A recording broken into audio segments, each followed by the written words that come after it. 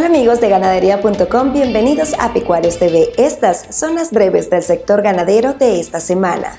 La Escuela Nacional de Lechería Sustentable, ubicada en Jalisco, busca ser un centro de investigación y aprendizaje para fortalecer a este sector primario, haciendo alianzas estratégicas con la Secretaría de Agricultura del Estado, los ganaderos, la industria y los académicos. Después de una reunión entre la ganadería de Paraguay y el USDA, se aseguró que las perspectivas para exportar carne de res hacia Estados Unidos son positivas. Le seguirían mercados como el mexicano, Canadá, Japón y Corea del Sur.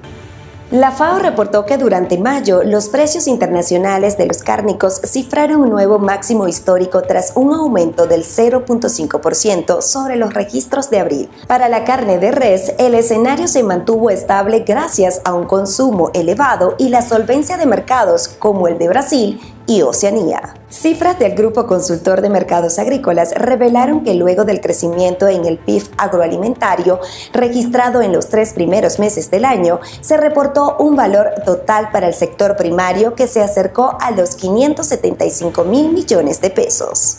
Cifras de la consultora dirigida por Juan Carlos Anaya indicaron que las importaciones cárnicas de res, cerdo y pollo cerraron hasta abril con un alza de más del 5%, reportando algo cercano a las 810 mil toneladas.